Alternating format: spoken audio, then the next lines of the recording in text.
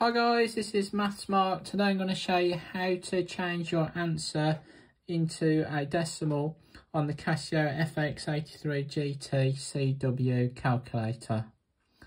So let's do a little calculation. So let's work out uh, 15 divided by 20. So 15 divided by 20, press the execute.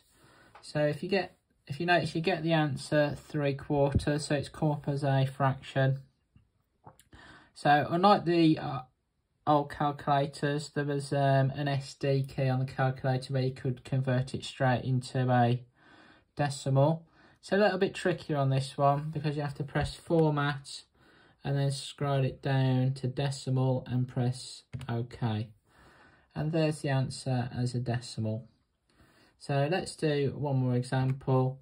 So this time let's work out 7 times 0.5.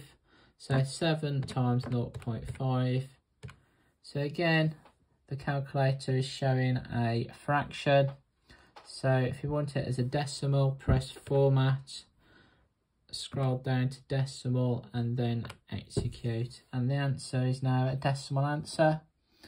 So I hope you find, find this video useful. If you did, like and subscribe and I'll see you again soon with some more maths videos. Bye bye.